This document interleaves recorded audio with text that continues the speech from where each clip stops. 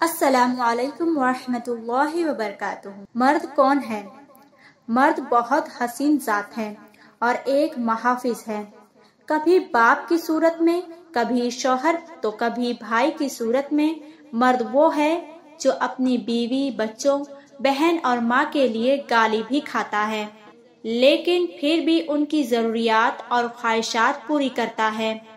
मर्द वो है जो अपनी बीवी, बच्चों, बहन और माँ के आँसू तो साफ़ करता है, लेकिन खुद कभी उनके सामने रोता नहीं। मर्द वो है जो घर के हर एक लोगों का बोझ उठाता है, चाहे खुद थका हुआ क्यों ना हो। ये जो बाहर से सख्त नज़र आते हैं, उनके अंदर झाँक लो तो तुम्हें उन पर तरस आएगा। मर्द वो है जिसके पेशानी पर औरतों के पेशानी से ज़्यादा झुरियाँ होती हैं। क्योंकि वो घर में सबसे ज़्यादा सोचता है कि कहाँ से पैसे लाना है, कैसे बूढ़ी माँ का इलाज करना है, कैसे बच्चों का फ़ीस अदा करना है। मर्द वो है जो अपना जंग खुद लड़के लड़खड़ाता है, लेकिन बीवी बच्चों के लिए हार नहीं मानता।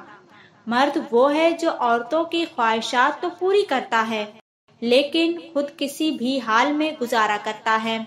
मर्द सब कुछ करता है, अपनों के लिए। फिर भी वही बुरा है। कभी मर्द की भी तन्हाई देखो, कैसे अकेले सब हालात का मुकाबला करता है। रोना आएगा उस पर।